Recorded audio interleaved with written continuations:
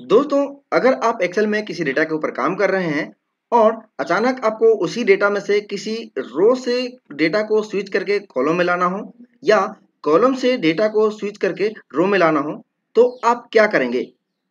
इसके लिए एक्सेल में दो तरीके हैं।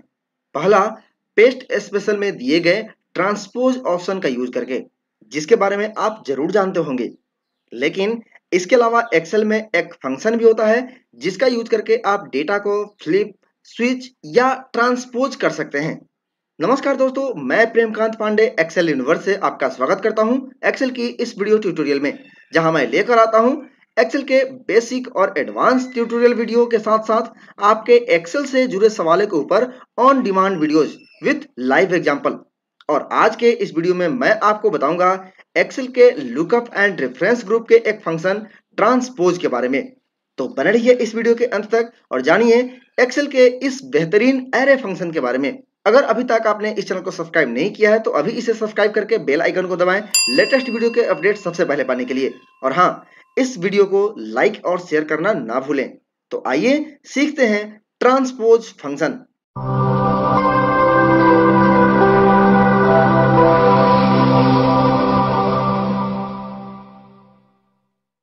यहाँ मेरे पास एक डेटा है और मुझे इसके मंथ जो कि हॉरिजेंटली है अलग अलग कॉलम में है, इसे फ्लिप करके स्विच करके वर्टिकली करना है।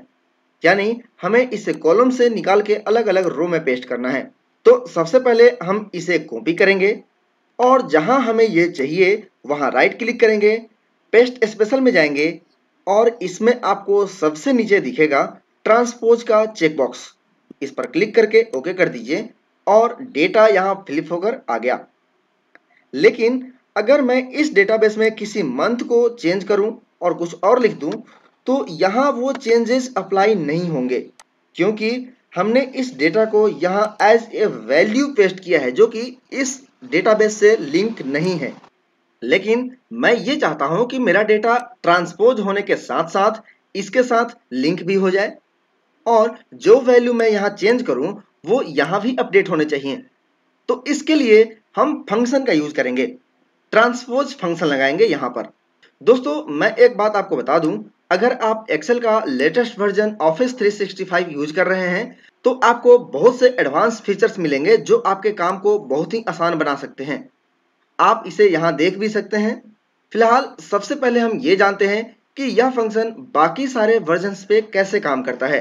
जैसे आप एक्सेल 2007, 2010, 2013 या 16 या 19 यूज़ कर रहे हैं तो उसमें यह फ़ंक्शन कैसे काम करेगा? तो यहाँ हम जब इस रेंज को सेलेक्ट करते हैं तो आपको यहाँ नेम बॉक्स में एक नंबर कुछ इस तरह से दिखता है जिसमें वन आर और ट्वेल्व सी है। इसका मतलब आपने जो रेंज सेलेक्ट किया है उस सिलेक्शन में एक रो है और 12 कॉलम है।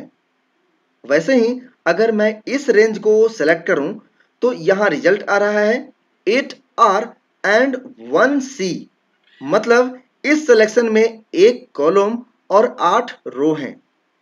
तो हमें इस रेंज के डेटा को ट्रांसपोज करना है। इस मंथ वाले डेटा को ट्रांसपोज करना है, जो कि कुल 12 कॉलम में है। जैसा कि मैंने सेलेक्ट किया था तो आपने यहाँ पे देखा था। अगर हम इसे फ्लिप या ट्रांसपोज करेंगे तो यह 12 कॉलम के बदले 12 रो में आएगा। तो हम यहाँ वर्टिकली 12 रो को सेलेक्ट कर लेंगे। अब यहाँ सेलेक्ट किए गए किसी भी सेल में लिखेंगे equal to transpose bracket open और एरे में ये वाला रेंज जिसे हमें ट्रांसपोज करना है। इसके बाद ब्रैकेट क्लोज एंड यहाँ पे डायरेक्ट इंटर नहीं करना है। नहीं तो ये एरर दे सकता है या किसी एक सेल के वैल्यू को ही डिस्प्ले करेगा। तो हम यहाँ control plus shift plus enter तीनों एक साथ प्रेस करेंगे। और देखिए, हमारा डेटा यहाँ हॉरिजेंटली टू वर्टिकली स्विच होकर आ गया है। एक बार फिर से देखिए, अब की बार मैं इस वैल्यू वाले रेंज को ट्रांसपोज करता हूँ। तो ये डेटा भी 12 कॉलम में है, जिसे 12 रो में लाना है। तो हम यहाँ 12 रो को सिलेक्ट कर लेंगे। इसके बाद यहाँ किसी सेल में लिखेंगे equal to transpose bracket open array में इस वैल्यू वाले रेंज को। उसके बाद bracket close and control shift plus enter तीनों एक साथ प्रेस करेंगे और हमारा डेटा यहाँ पे आ गया। यहाँ मैंने अभी डेटा को हॉरिजेंटली टू वर्टिकली ट्रांसपोज किया है स्विच किया है या फ्लिप किया है। अब एक बार वर्टिकली टू हॉरिजेंटली करते हैं। तो यहाँ मैं इस कॉलम के डेटा को हेडर के साथ हॉरिजेंटली स्विच करता हूँ। तो इससे पहले चेक कर लेते हैं कि यह कितने रोज में है। रोज के डेटा को हमें कॉलम में लाना है। तो यहाँ से यहाँ तक सेलेक्ट कर लेंगे और यहाँ आपको नेम बॉक्स में दिख रहा है कि ये आठ रो में है। तो हम यहाँ कोई भी आठ कॉलम सेलेक्ट कर लेंगे, जहाँ हमें ये डेटा ट्रांसपोज होने के बाद चाहिए। इसके बाद इसमें लिखेंगे equal to transpose bracket open array में ये वाला रेंज सेलेक्ट कर लेंगे, जिसे हमें ट्रांसपोज करना है।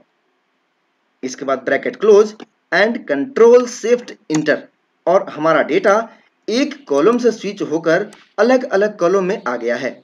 अगर आप चाहें तो इस पूरे डेटा टेबल के ओरिएंटेशन को चेंज कर सकते हैं। इसको भी आप ट्रांसपोज स्विच या फ्लिप कर सकते हैं। इसके लिए भी सेम तरीका है। अगर हम इस पूरे टेबल को सिलेक्ट करें तो यहाँ नेम बॉक्स में देखिएगा 8 आर एंड 13 सी आ रहा है। मतलब ये पूरा टेबल 8 रो और 13 कॉलम में फैला हुआ है। अगर इसे ट्रांसपोज करें तो यह 13 रो 13 कॉलम की जगह हो जाएगा 13 रो, और आठ रो में डेटा है तो ये आठ कॉलम में आ जाएगा।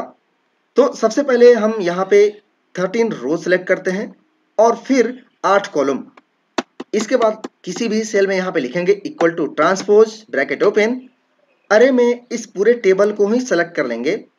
इसके बाद bracket close and press control shift plus enter तीनों एक साथ।